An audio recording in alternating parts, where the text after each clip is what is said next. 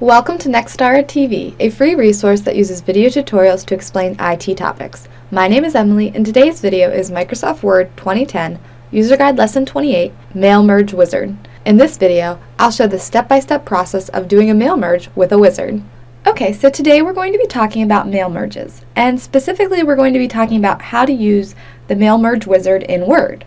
Uh, so a mail merge is when you combine your main document with a list of database records to create a custom copy of your main document for each of the records.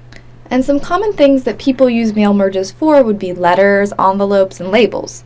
So to do a mail merge, you're going to need a main document and a data document. So if you look at this letter, this is our main document. And we'll pull up our data document, which for a letter example would just be an Excel sheet with uh, your recipients' names and addresses. So to do a mail merge, what will happen is you will merge these two documents. So for each one of these recipients, you'll have an individual letter customized to that specific person. So now I'm going to show you how to do this with your mail merge wizard.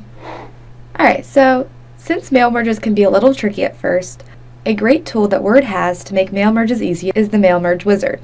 So what it does is it walks you through step by step of how to do a mail merge and it prompts you along the way. So the first step is to go up to Mailings, click Start Mail Merge, and click Step by Step Mail Merge Wizard. And you'll see this little taskbar pop up. And the first thing you'll need to do is choose what type of document you're using. So for this example, we're going to do a letter, but you could also do an email message, an envelope, label, or directory. So then you'll just come down and click Next Starting Document. Next, you can choose if you want to use the current document, start from a template, or start from an existing document.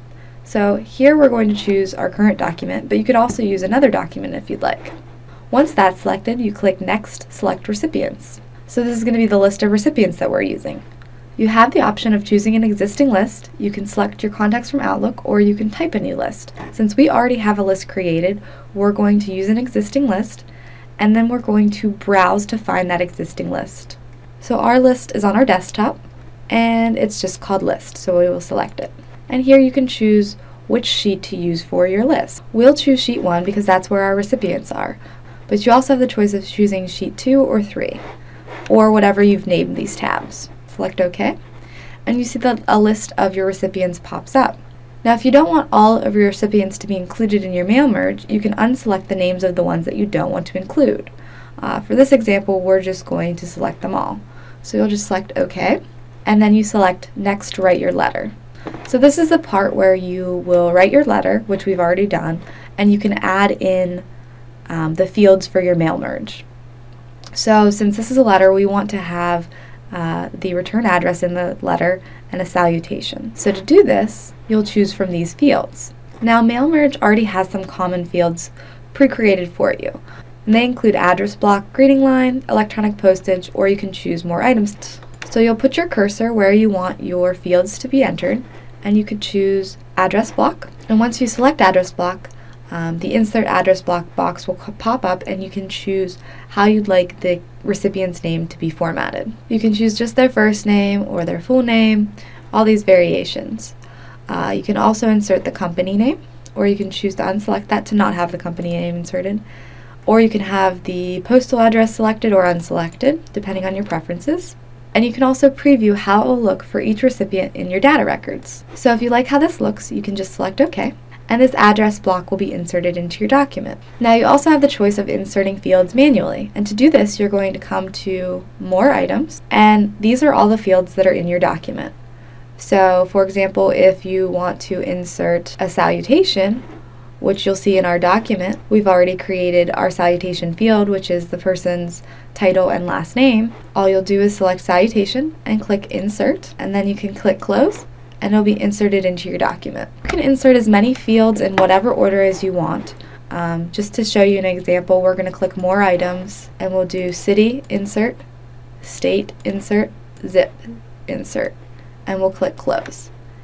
And then once you're into your document, you can put a space in between your city and state, and you can also add commas. You can format however you need to. So once you're done with that, you're going to click Next, preview your letters. And you see that your fields are being automatically pulled into your letter. And if you come over to preview your letters, you can switch in between to see how each letter looks for the various recipients. While you're here, you can also decide to edit your recipient list. You can exclude this recipient from showing in your list. So we just click exclude and that person is no longer showing. If you're satisfied with all your changes, you can click complete the merge and this will pull up two options. You can print your document, which if you click the print button, will pull up this window where you can choose to print all records, you could print your current record, or you can choose from a specific range of pages. So we're going to click print all, and then it'll pull up your printing options. You can also choose to edit your letters individually. So if you click this, you can again choose your current record, all your records, or from a certain page mount. So if you click all, what this does is it'll pull up a brand new document that includes all of your custom letters. So if you'll just scroll, you'll notice that each letter has its own page. And this is a new document, so you still have your original document. Um, but it makes it very easy to edit these letters if you want to. And that is how you use the Mail Merge Wizard. Thank you for joining Nexstara TV for Microsoft Word 2010 User Guide Lesson 28, Mail Merge Wizard. If you've enjoyed this video, be sure to visit www.nexstara.tv for other tutorials or subscribe to our YouTube channel at www.youtube.com French.